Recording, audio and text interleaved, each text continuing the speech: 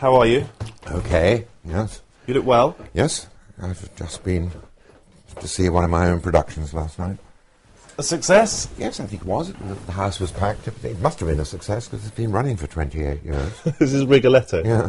it's rather odd. Sir Jonathan Miller. Oh, no, okay, stop. I can't bear that title. I never use it.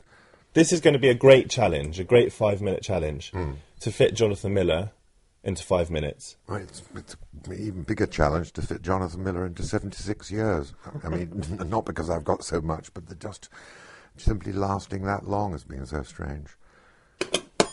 You can count us down, Jonathan. Four, three, two. We go. Does mortality scare you? No. Uh, I mean, if, if you, by mortality you mean my forthcoming death, I'm much more scared by the death of people that I know and love. But my own death, I'm only anxious about because it's often preceded by agony and discomfort, and uh, not the fear of the uh, of the annihilation, but just simply the thought of being in pain, very breathless and confused. That I think is frightening. But the idea of it coming to an end would be a blessing, of course. You're famous for your atheism. Well, not really. I mean, all, uh, again, I'm I'm known by more people than I know about being an atheist, but I never use the word atheist of myself. Um, it's scarcely worth having a name for. Um, I mean, I don't have a name for not believing in pixies. there wasn't a moment when you became an atheist then. No, no I, ne- I never, I never had a religious thought. I mean, that doesn't mean that I wasn't mystified or puzzled by there being anything at all. And it isn't as if I wasn't puzzled and mystified by there being something as obscure and peculiar as consciousness, as opposed to there being, you know, stones and glaciers and oceans and so forth. It's very odd that there is something which, as it were, takes account of the existence of these things. Consciousness worries me a great deal, but it doesn't worry me because I think there must be something up there which is superconscious, hyperconscious, which some people like to give this glottally stopped monosyllable name of God to. So if I said to you now, actually, I'd like to point out there is an afterlife, hmm. that wouldn't excite you. Well, it would, it would, no, it would, it would be very puzzling to think what, what the afterlife might consist of. How would it know it was me? I mean, everything about myself that I know is to do with the fact that I'm embodied. My body makes me here rather than there.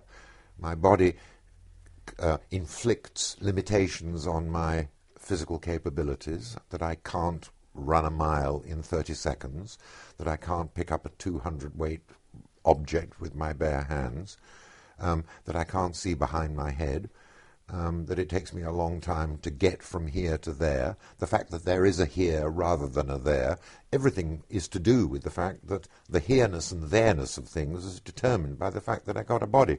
How would it know it was me, this thing which outlasted the body in which I am? I mean, there's this naive idea that one's body is simply a sort of lodging in which this rather peculiar uh, sort of lighter fluid called the soul lives. Can you imagine the world in 2050? I haven't the faintest idea, really. I mean, we are always being surprised by what happened, what what happens in two years' time. All sorts of unexpected things happen. No, I haven't the faintest idea what will happen. I mean, it's I, I'm curious about it, and it makes quite interesting uh, dinner table talk. Are you excited or scared by modern science? And neither. I'm interested in it, in the aspects of modern science which I can get my head round. It gets more and more complicated and more and more beyond me uh, because I'm out of it. I'm, I'm, I'm not doing it.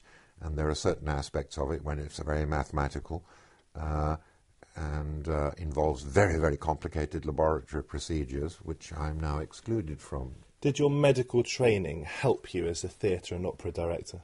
Yes, indirectly and unexpectedly. I couldn't have foreseen that it would, but certainly the sort of sensitivity that you develop about observation and behavioral observation is transferable to the theatre. You've said that the considerable t- is to be found in the negligible. Well, a lot of the considerable is found in the negligible, as you know, great authors like Flaubert, who can take a trivial, totally forgettable slut like Emma Bovary and turn her into something absolutely considerable. Um, and I think that almost all the things that I find interesting are become interesting because you find that you have failed to notice something which turns out to be more important than you had foreseen. Is it right that you don't go to the opera yourself, that you don't go to the theatre? No, I'm, I, I, I regard myself as a sort of Grand Prix racetrack mechanic. I like fixing things, and I like the th- things coming into the pit and fixing up the, the tyres. a good place to end. I have to say that some of those answers were the longest we've ever had on five minutes, but I let you get away with it because you are Jonathan Miller. No, it's just that um, I, I, I like to take time to think something out. If anything is important enough, and if there are questions which are considerable rather than negligible, you have to um, work them out carefully. Ev almost anything interesting takes time. Uh, it's only the idiotic and the trivial that can be done immediately. Great to see you. Nice to see you.